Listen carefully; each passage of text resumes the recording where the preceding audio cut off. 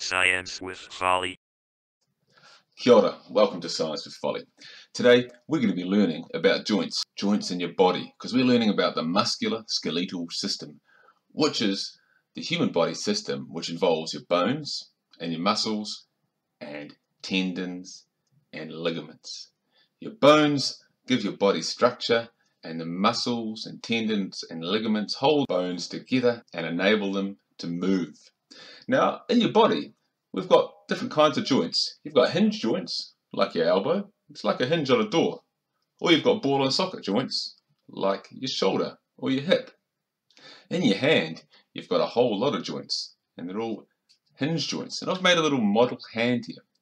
If you look at your arm, you've got lots of muscles here, and you've got lots of muscles here, and they all, you can feel these little tendons that run up your hand into your fingers. And that's like this hand that I've made here. These strings are like your tendons. And when one of your muscles contracts, it pulls. And there you go. It pulls the tendon and the fingers move. And obviously, you can move one, two, three. You can do lots of things with your fingers.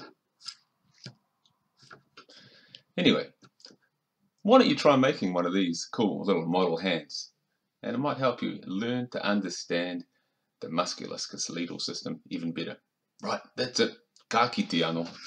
Science with Folly. Science